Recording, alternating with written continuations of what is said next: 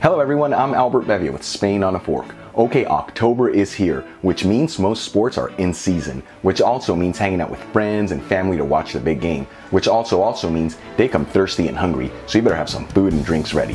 Which brings us to today's recipe. Today it's all about spinach and artichoke dip. This is a fantastic appetizer that has a creamy texture and an incredible flavor. The only downfall is that it's loaded with calories and it has a high content of fat. But you know what? No worries, because I created a healthier and leaner version that still has an incredible flavor and you can eat it guilt-free. This recipe is easy to make, it requires no oven, and it's done in under 30 minutes. If this is your first time watching my channel, I encourage you to click on that subscribe button. It's absolutely free. If you're already a subscriber, welcome back. Okay, let's get started by steaming some fresh spinach. Let's grab a non-stick frying pan, let's heat it with a medium heat, and let's add a quarter cup of water. Okay, now let's add four cups of tightly packed spinach into the pan. Let's place a lid on top and let's steam it for about two minutes.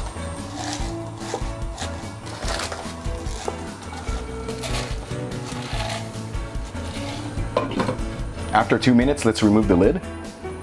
Let's turn off the fire and let's mix it.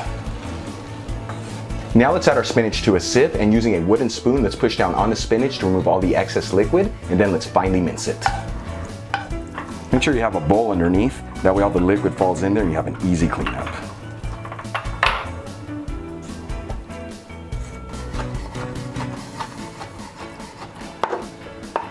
It's funny how four cups of spinach become so small after you cook it and then cut it. Now let's cut the rest of our ingredients. Let's begin by finely mincing two cloves of garlic and finely dicing one onion.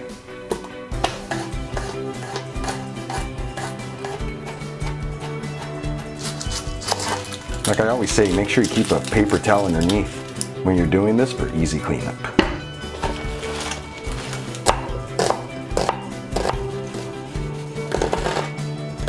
Okay, for our last ingredient, let's cut one cup of jarred artichoke hearts. I don't know if I consider this a dice or just a rough chop, but either way, you want to make sure you get it into some small pieces. Okay, all our ingredients are cut up, so let's start cooking our dip. Let's grab a non-stick frying pan, let's heat it with a medium heat, and let's add two tablespoons of extra virgin Spanish olive oil. And once the oil gets hot, let's add our finely minced garlic and our finely diced onions into the pan. For some reason, my audio didn't work in this part, so I'm gonna narrate this. After cooking our onions for five minutes, let's add half a teaspoon of smoked paprika into the pan. Let's mix it until it's well mixed. Now let's add our cut artichokes, our finely minced spinach. Let's season it with sea salt, freshly cracked black pepper, and let's mix it together until it's well mixed. And let's cook this for about three minutes.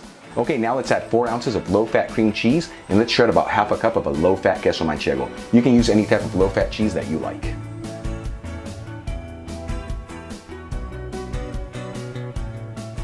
Let's season it with sea salt, freshly cracked black pepper.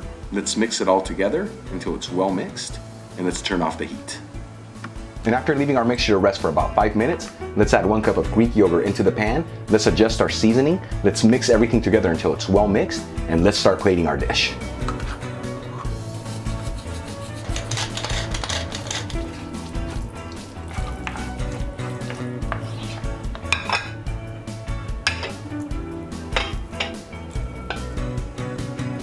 And let's add some whole wheat crackers to the plate.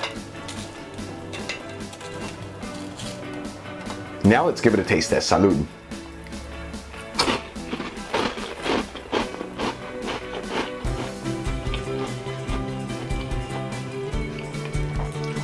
So many beautiful flavors to this. I think I'm gonna eat this whole thing by myself. If you enjoyed today's video on making this dip, please hit that like button, leave me a comment below, and subscribe to my channel. Until the next time, hasta luego.